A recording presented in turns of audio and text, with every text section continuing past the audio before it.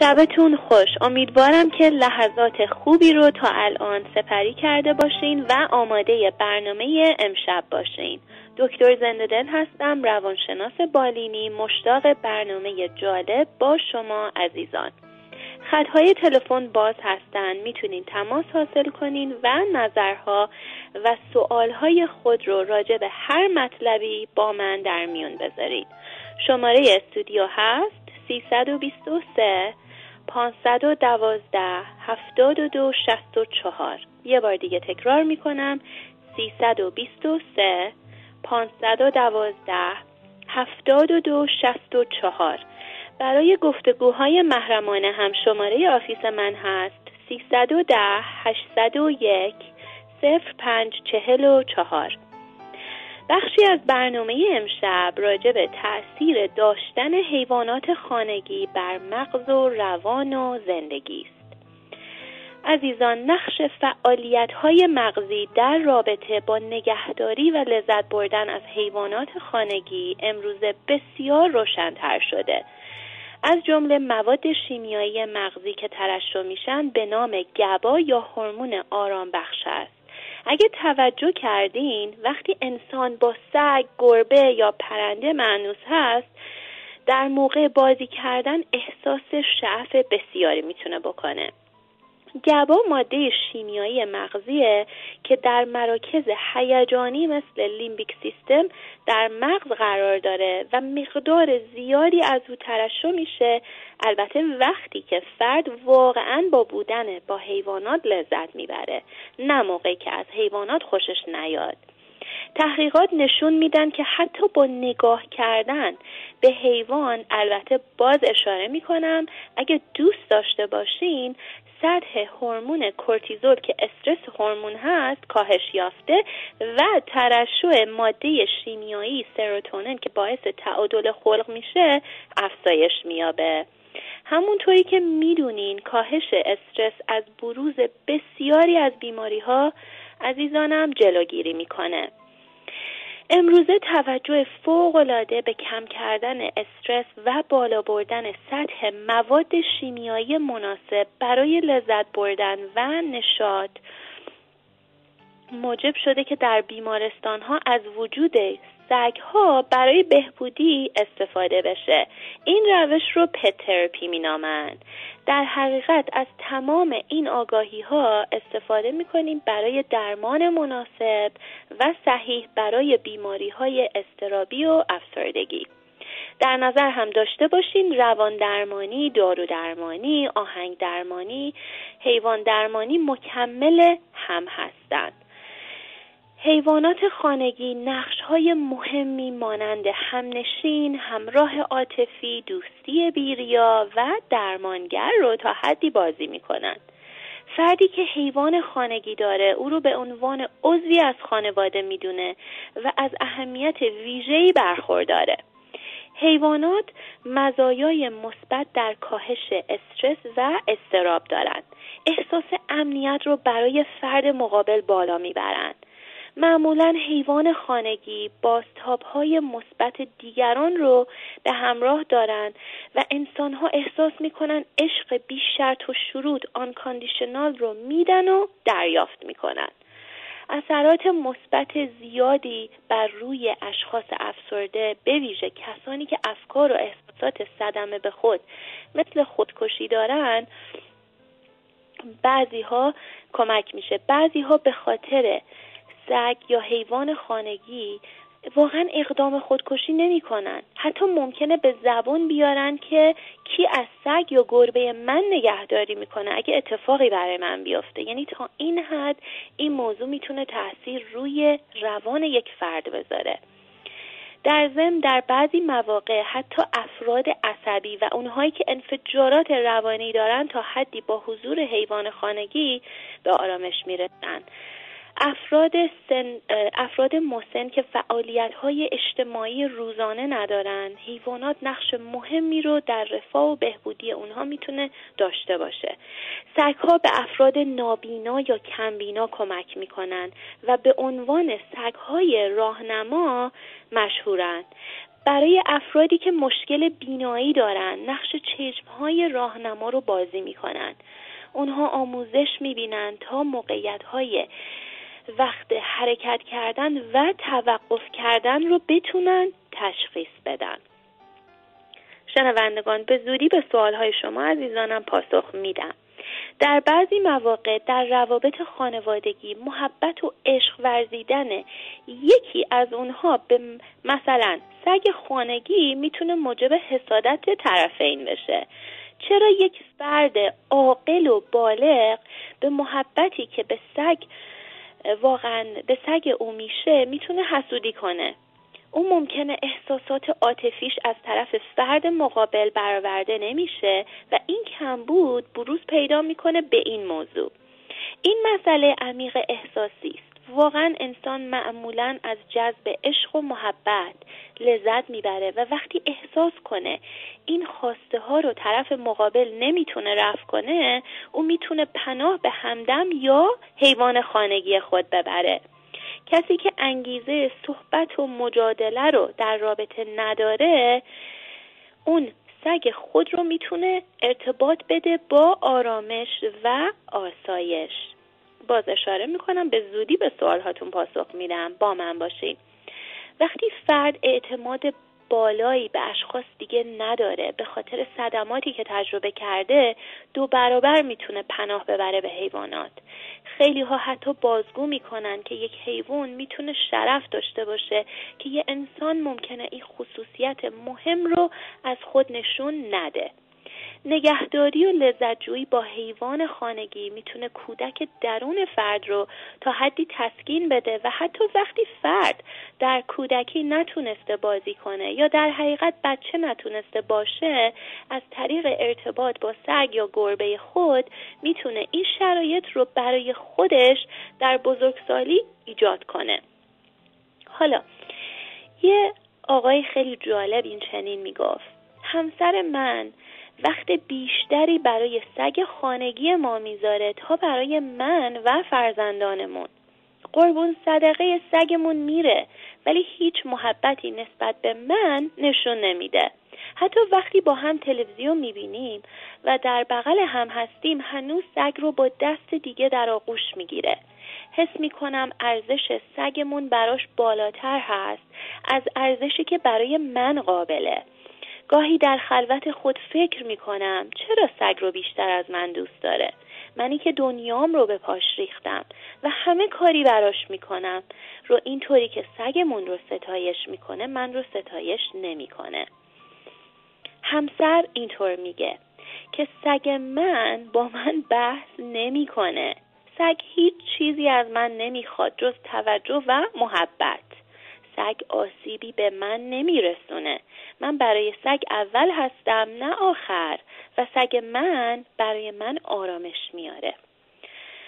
شنوندگان عزیزم در مواقعی که فرد احساس می‌کنه که آرامشش رو از طریق بودن با حیوان خانگی به دست میاره این می‌تونه واقعا منجر بشه به مشکلات در روابط عاطفی با اعضای خانواده. مخصوصا اگه همه یک جا قرار نگرفته باشن. این رو هم خیلی از شما عزیزان می‌دونین که در مواقعی یکی ممکنه واقعا لذت ببره که حیوان خونگی یا پت داشته باشه ولی یکی دیگه واقعا شاید ترس و واهمه داره و واقعا نمی‌تونه سگ داشته باشه. برای مثال خود این موضوع می‌تونه تنش ایجاد کنه و بحث و مجادله بین زن و شوهر مخصوصا اگه یکی از طرفین فکر کنه که برای بچه ها فوق العاده می‌تونه مفید باشه که مسئول نگهداری از سگ یا هر حیوان دیگه ای باشن. شروع می‌کنم به سوالهای شما عزیزانم پاسخ میدم. شنونده عزیز اول بفرمایید روی خط. سلام خانم دکتر خسته نباشید. قربان شما. سلامت باشین. بفرمایید.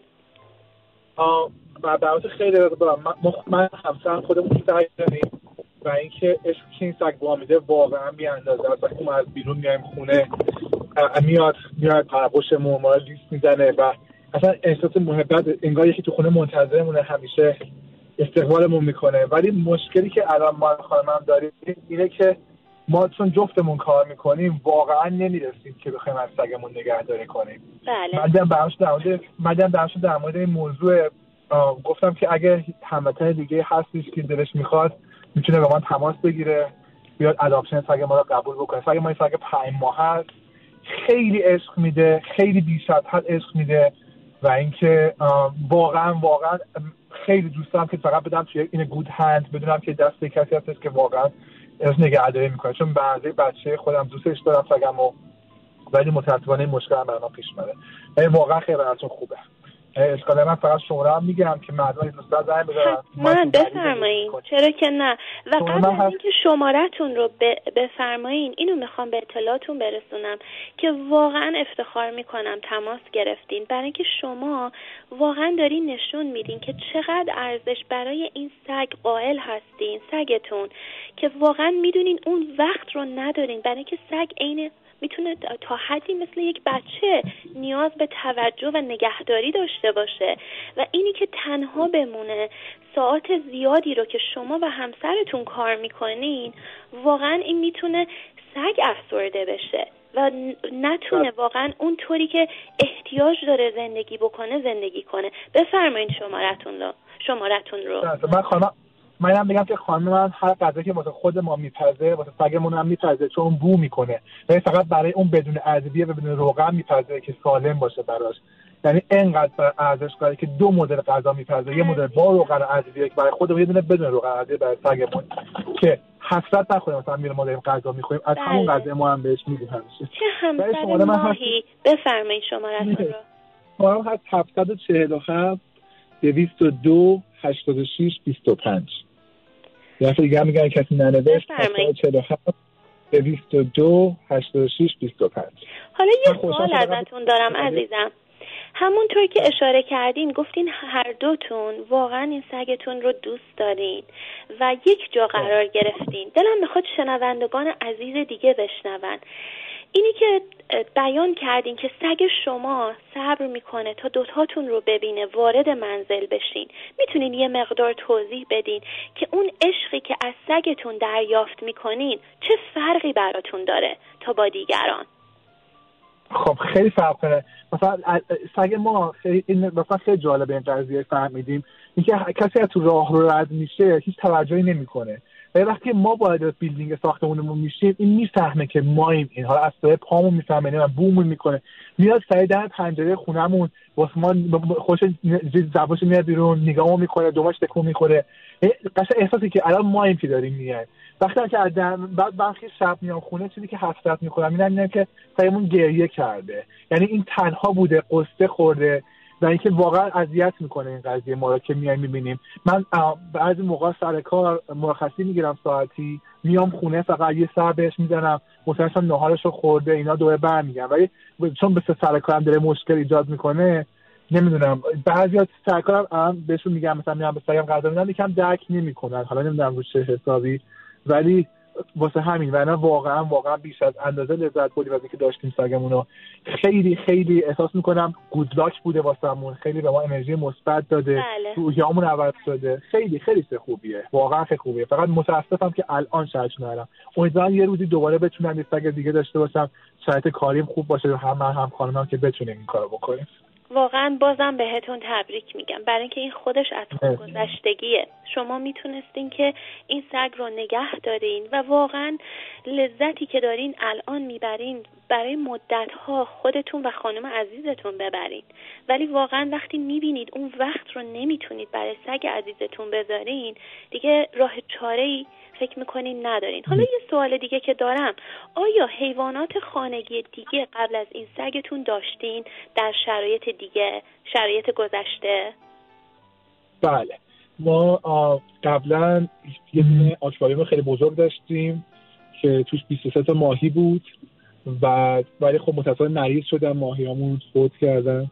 بعد یه دونه داشتیم که اون همستر هم باش اون اینا عشقی که به نظر من نظر منه. ماهی و همستر اینا که داشتیم عشقی که اون سگ به ما میده نمی‌دادن. من نمی‌خوام تنها کسی که همستر ماهی دارن ناراحت شن ولی به نظر بله. من سگ به آدم میده واقعا واقعا مثل بچه آدمه.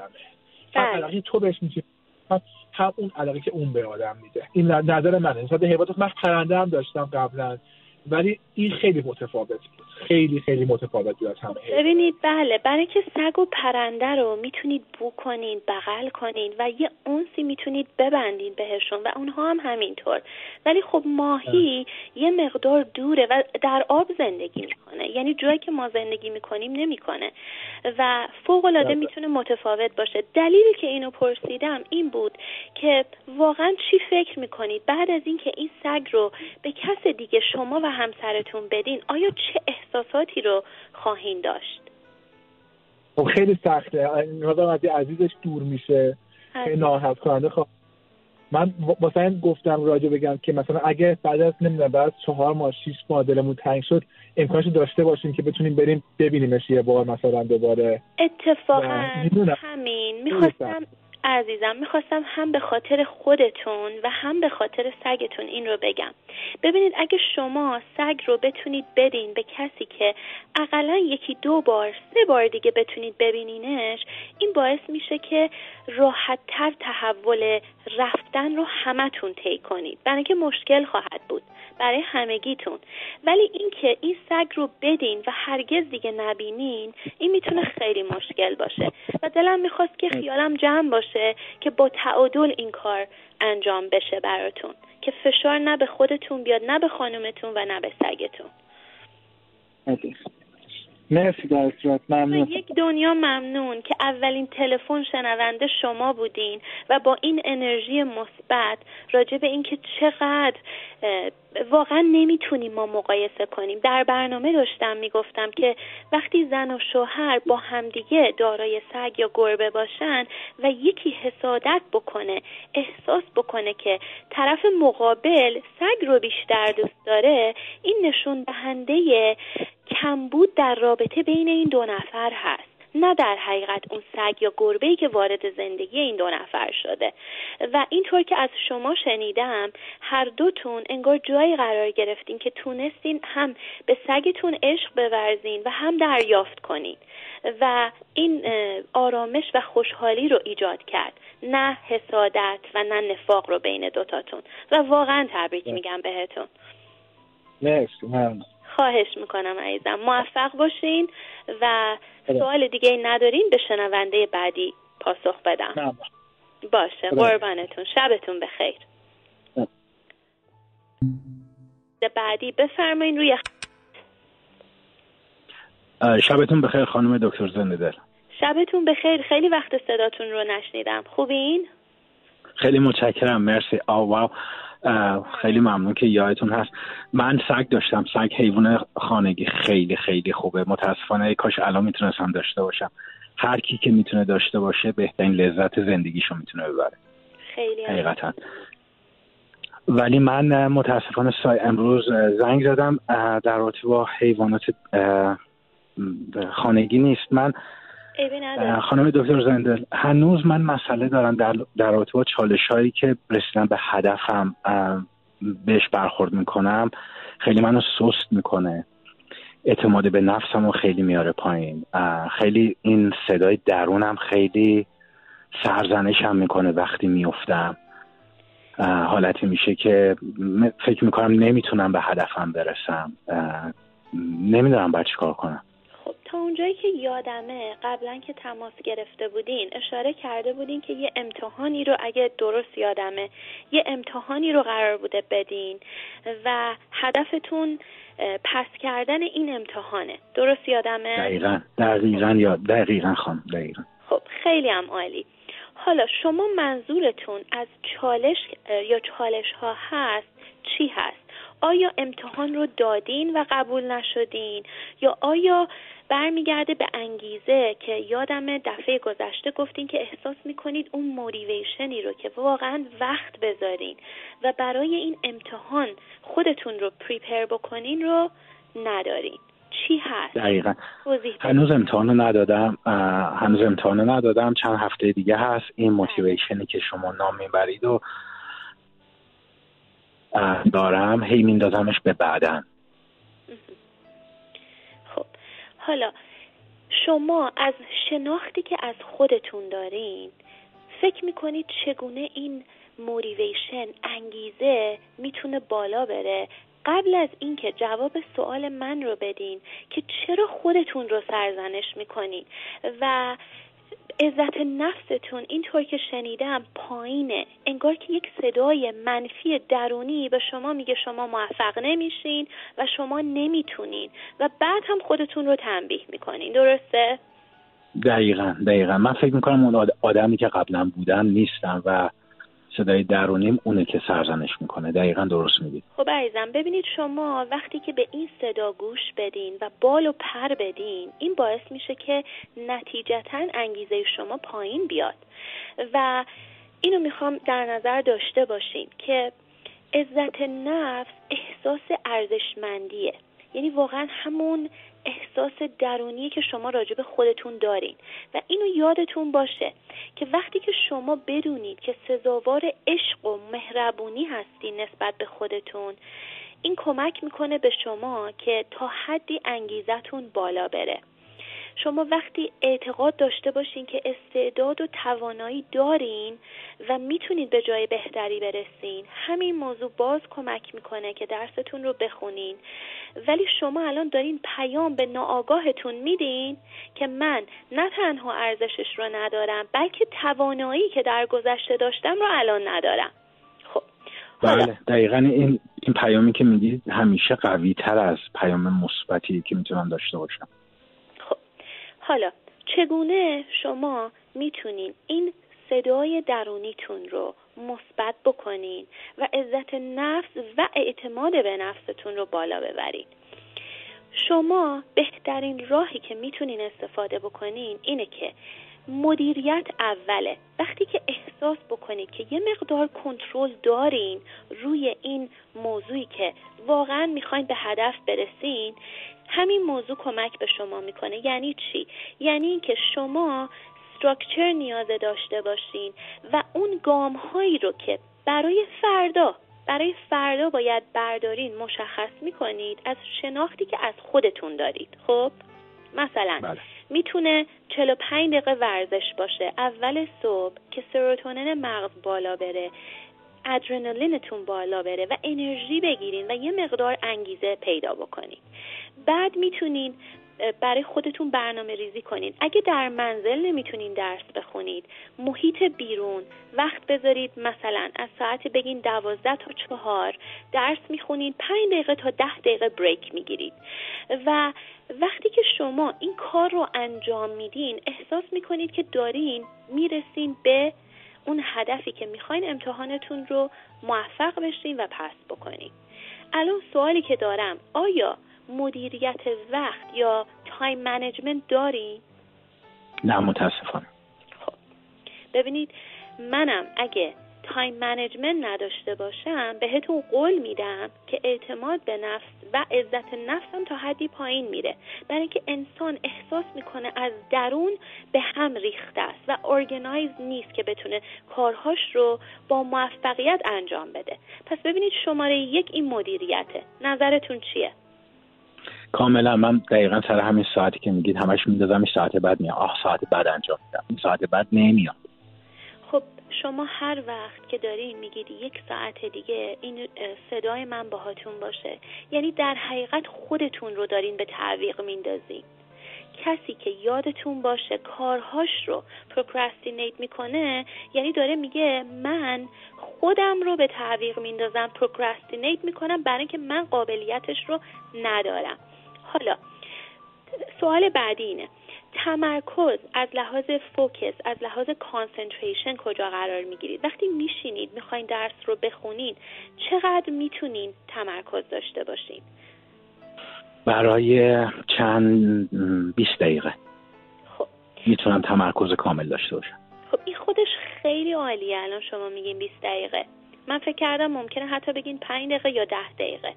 خب شما وقتی می‌دونید که اتنشن سپن شما برای 20 دقیقه کار می‌کنه همون 20 دقیقه رو به خودتون اجازه میدین بعد بریک می‌گیرین دوباره برمیگردین. یعنی ببینید کسی که می‌دونه 20 دقیقه داره قشنگ می‌خونه و ابزورب می‌کنه اون درسی رو که داره می‌خونه حتما نباید خودش رو پوش بکنه که چهار پنج ساعت بشینه و تکون نخوره. آیا این کار رو با خودتون می‌کنی؟ نه متاسفانه. دیدین گفتین نه متاسفانه. شما از خودتون انتظار دارین که چندین ساعت بدون اینکه بریک بگیرین بخونید و این all nothing thinking یعنی چی؟ سیاه و سفیده. معناش یعنی این. من یک ساعت دیگه درس می‌خونم یا میشینم عالی چند ساعت می‌خونم یا نمی‌خونم. درست متوجه شدم؟ بله بله دقیقا همینطور. بله. خب همون 20 دقیقه 20 دقیقه رو که شما انجام بدین به جایی که از خودتون توقع داشته باشین یه لقمه بسیار بزرگ رو استفاده بکنید همین موضوع می‌تونه به شما کمک بکنه. برای که همه ما با هم متفاوت هستیم. و یه سوال دیگه آیا بیقراری هم دارین؟ بله شدید. دقیقا دارم. غم چی؟ تو صداتون غم من حس می‌کنم. غم که فکر کنم یه قسمت بزرگی از زندگیم شده.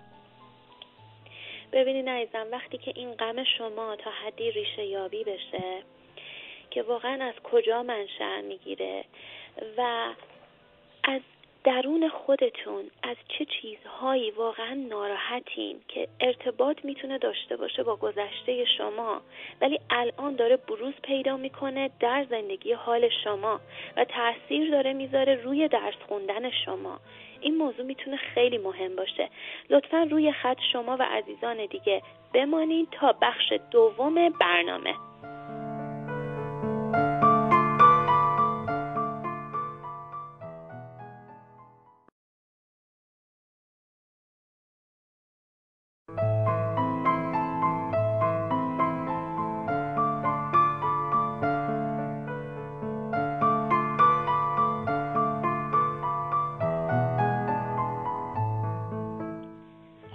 شنوندگان عزیزم بخش دوم برنامه هست. دکتر زنده دل هستم روانشناس بالینی. شماره استودیو هست 323 512 72 64 هر سوالی راجع به هر مطلبی دارین می‌تونین امشب عنوان کنین و شماره من هم هست 310 801 05 چهل و چهار. شنونده عزیزی که روی خط بودین بفرمایید.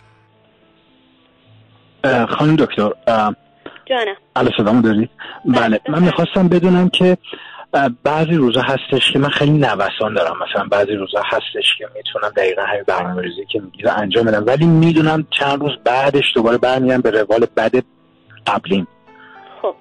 این چی کار کنم؟ چی مانع میشه که شما برمیگردین به روال قبلی؟ مثلا آیا حوصلتون سر میره؟ آیا اون انرژی گذشته رو ندارین؟ چی پیش میاد؟ اول با هم انرژی چشم انرژی که میگید کاملا درسته. یکی انرژی یکی خب. این که فکر می‌کنم نمی‌تونم تمومش کنم. خب حالا شما آیا این برنامه ریزی که می‌کنید من می‌تونم راجبش بدونم به خاطر اینکه اگه برنامه ریزی کنارش لذت جویی نباشه کنارش وقت برای ورزش نباشه کنارش وقت برای حتی سوشالیزیشن نباشه این برنامه ریزی واقعا متلاشی میشه. موقعی که شما بدونید به قول آمریکایی ها خیلی حرف جالبی می‌زنن میگن که we study hard and we play hard. یعنی اینکه ما هم درس خیلی خوب می‌خونیم هم به موقعش بازی می‌کنیم و fun مون رو داریم. اگه تفریحات شما نداشته باشین و از خودتون توقع داشته باشین عین یک ماشین ادامه بدین برای که خیلی ها من میشنوم در برنامه ریزیشون ابدا pleasure principle ی انگار وجود نداره. فقط توقع دارن که درس بخونن تا امتحان رو بدن و بعد به خودشون اجازه میدن زندگی کنن.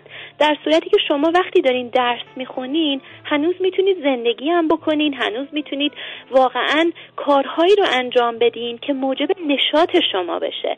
من واقعا غم تو صدای شما میشنوم.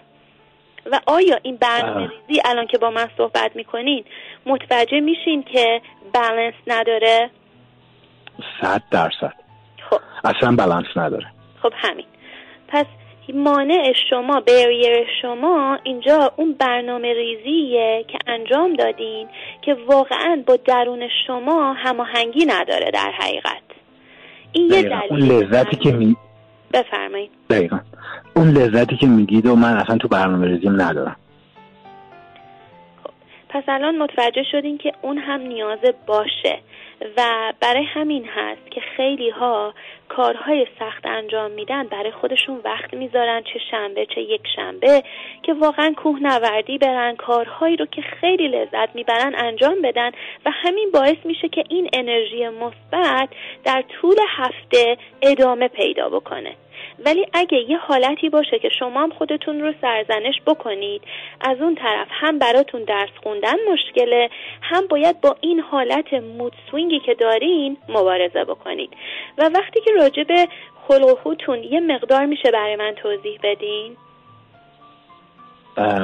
شنوندگان دیگه به زودی به سوالهای شما هم پاسخ میدم. بفرمایید شما. من می‌تونم خیلی یا خیلی شاد باشن یا خیلی غمگین. وسط نداره. خب. حالا ببینید هر وقت هر چیزی فوق العاده زیاد باشه درس خوندن به حد زیاد باشه خوشحالی به حدی باشه که یک دفعه انگار دارین پرواز می‌کنید و نمی‌دونین این انرژی رو کجا بذارین و بالا و پایین باشه به تعادل خودتون رو نرسونین خب این نتیجتا به روی زندگیتون هم تاثیر می‌ذاره.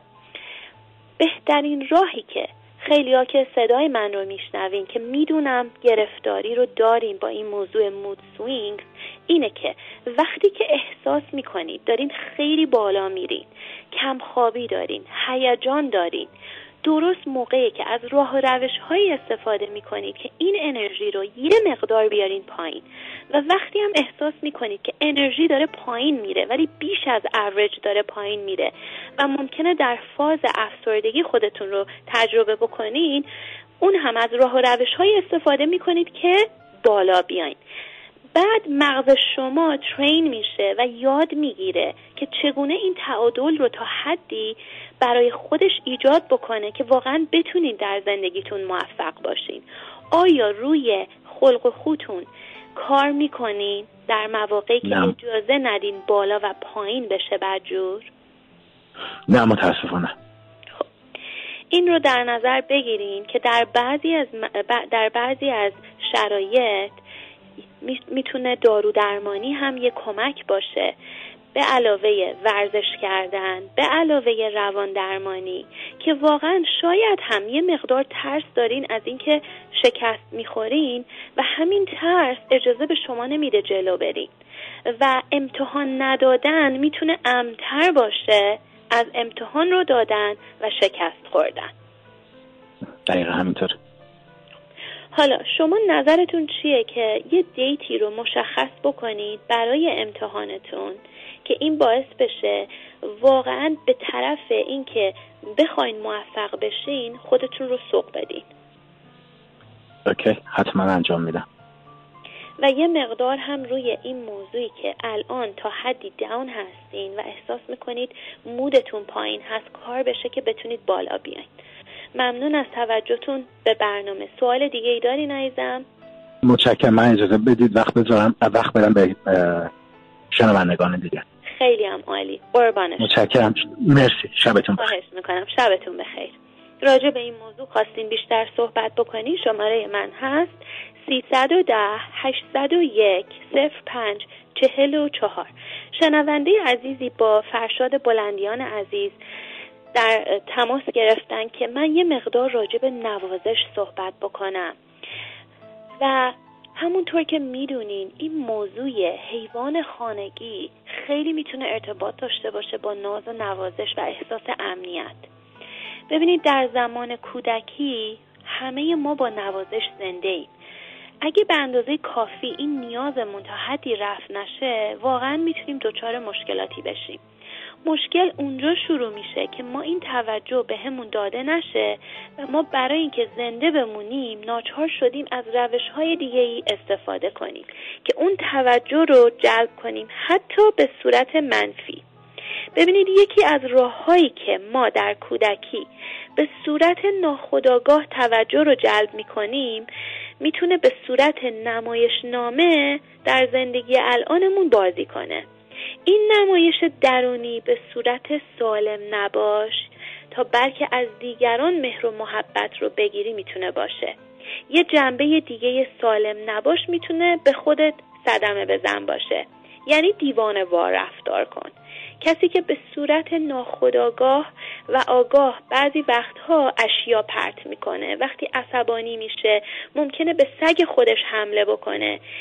این فرد ممکنه در ذهنش کلید خورده که رفتار خسمانه او جلب توجه می‌کنه و نیازش تا حدی برآورده میشه.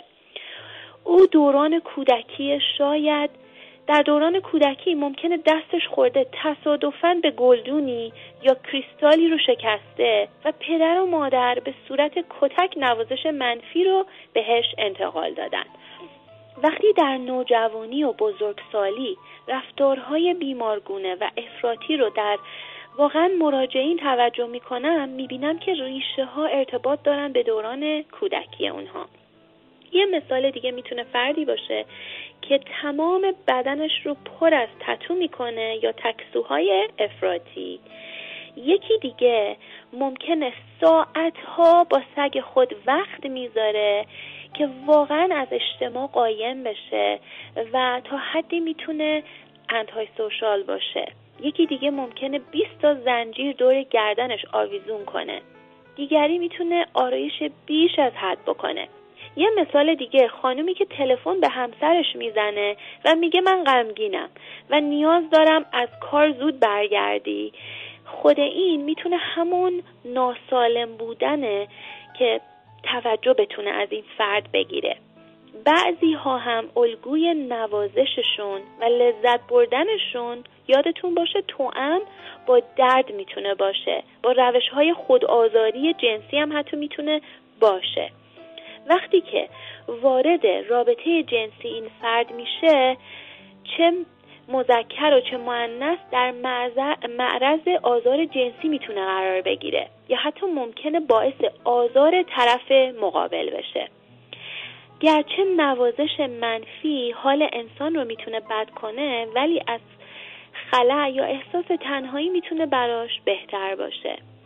استفادهم از ابزارهای مختلف برای خشونت جنسی می‌تونه یه مثال دیگه باشه که راجع به این موضوع چند تا سوال برای من از طریق سوشال میدیا اومده بود و می‌خواستم راجبش صحبت کوتاهی رو می‌ذارم برای دفعه آینده. یه سوال مهم دیگه که مطرح کرده بودین راجع به گروه اجتماعی بود راجع به سوشالیزیشن بود. ببینید کسی که رابطه فقط با سگ، گربه، پرنده یا حیوانات داره و نمی‌خواد واقعا روابط رو با دیگران با انسانها داشته باشه همین می‌تونه تا حدی بهش ضربه بزنه. برای اینکه در حقیقت اون اون فرد می‌تونه خودش رو هنوز تنها حس کنه ممکنه همزاد پنداری رو تجربه نکنه. و اینو یادتون باشه که ما انسان ها همدیگر رو در آینه های هم می‌بینیم که واقعا متوجه میشیم خودمون کجا قرار گرفتیم. و حتی موضوع انگیزه هم اینه که ما وقتی که می‌بینیم یه نفر با ما مثبت صحبت می‌کنه و به ما انرژی خوب داره میده همین می‌تونه یه مقدار به انگیزه ما کمک بکنه. پس بنابراین خیلی مهمه که واقعا حتی اجتماعی بودن با افراد تعادل باشه.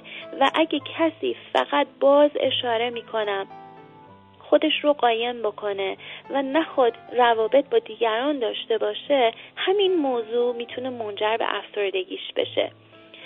من یاد یه نفر میفتم که واقعا نگران بود که گربه بیاره منزلش. اینقدر لذت ببره که نخواد با دوستانش رفت و آمد بکنه. و حتی ممکنه نخواد دیت بکنه و یه نفر رو بخواد پیدا بکنه که شریک زندگیش بشه. و یادمه که این فرد بعد از چند ماه تصمیم گرفت که گربه همسایه خودش رو برای دو بار در هفته نگهداری کنه که مبادا به اینجا برسه که به حالت افراطی با گربه باشه و نخواد با دیگران باشه. این رو هم یادتون باشه که وقتی آدم در جمع قرار می‌گیره نمی‌تونه دفاعهای روانی انکار کردن رو تا حدی به کار ببره. یعنی کانفرانت میشه مواجه میشه با اون می‌تونه محرک یا تریگر هایی که غمش رو می‌تونه یه مقدار بروز بده. این هم در نظر داشته باشین که عوامل ناخودآگاه غم در جمع برافروخته واقعا میشه. پس بهتره که هر چیزی واقعا تعادل تا حدی داشته باشه. سوال بعدی نمی‌تونم الان روی خط بیارمتون عزیزان. این بود که واقعا چی باعث میشه که یه فرد احساس افسردگی بکنه؟ می‌دونم این سوال برای خیلی از شما عزیزان مطرحه. برای اینکه می‌خواین جلوگیری بکنین از اینکه افسرده بشین. ببینید کسی که صدمات عاطفی جسمی و جنسی رو تجربه می‌کنه و روی این ترامایی که بهش وارد میشه کار نمی‌کنه که ترمیم بشه همین می‌تونه یه عامل باشه برای افسردگی. کسی که وقایع پر استرسی تو زندگی به ویژه از دست دادن یا تهدید به از دست دادن یه فرد محبوب یا شغل می‌تونه براش محرک افسردگی باشه. خیلی ها راجع به این صحبت می‌کنن که ممکنه بگن که تا حالا افسردگی رو تجربه نکرده بودن تا وقتی که یکی از عزیزانشون رو از دست میدن. همین موضوع می‌تونه فوق العاده عامل شدیدی باشه برای علائم افسردگی. و هر چقدر از ریپرشن یا انکار کردن فرد استفاده بکنه خب علائم افسردگی می‌تونه تشدید بشه. شکست در زندگی در کار ازدواج یا روابط با دیگران می‌تونه بروز افسردگی بشه. همونطور که یکی از شنوندگان عزیز امشب تماس گرفتن همین موضوعی که چرا من نمی‌تونم موفق باشم؟ چرا من نمی‌تونم در زندگی جلو برم؟ و چرا عقب موندم؟ همین می‌تونه یک عامل باشه برای تنبیه به خود برای صدمه به خود و برای نگه داشتن خود در فاز افسردگی. خیلی ها در همون فاز افسردگی خودشون رو آگاهانه و ناآگاهانه نگه میدارن. برای اینکه براشون فوق العاده مشکل هست که از این حالت بخوان خودشون رو در بیارن. برای اینکه واقعا نمی‌دونن چه پیامدی براشون خواهد داشت. مثلا خیلی براتون می‌دونم می‌تونه عجیب باشه که کی می‌تونه واقعا ترس داشته باشه از اینکه موفق بشه و چرا مانع می‌تونه بشه که جلو بره در زندگی. برای اینکه همین فرد ممکنه انقدر تو زندگیش صدمه یا آسیب بهش رسیده باشه که این هماهنگی داره با درون غمگین این فرد. تا حالا متوجه شدین که بعضی ها حتی در مواقعی که می‌تونن خوشحال باشن و اتفاقای خیلی خوب در زندگیشون میفته هنوز به جایی که خوشحال باشن اجازه به خودشون نمیدن بیشتر از یکی دو دقیقه اون مزه نشاط رو تجربه بکنن. فوری میگن چه فرقی داره. فردا عوض میشه. من که اینطور نمیمونم. و همین پیام های منفی باعث میشه آدم در زمان حال زندگی نکنه. و در حقیقت افسردگی اگه راجبش فکر بکنید ترس و نگرانی و غم نسبت به آینده می‌تونه باشه و نسبت به گذشته نه به زمان حال.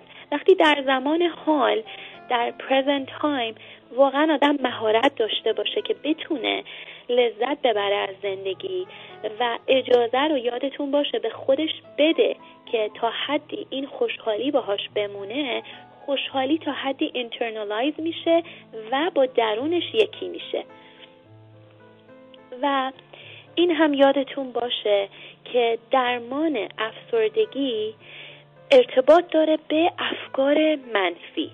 وقتی که شما افکار منفی رو بال و پر بدین و با همون افکار جلو برین نتیجتا احساسای منفی هم خواهین داشت. ولی اگه اجازه به خودتون بدین که اون فکر منفی رو که دارین همونطور که شنونده قبلی گفتن مثلا فکر می‌کنن که من که موفق نمیشم من که توانایی ندارم.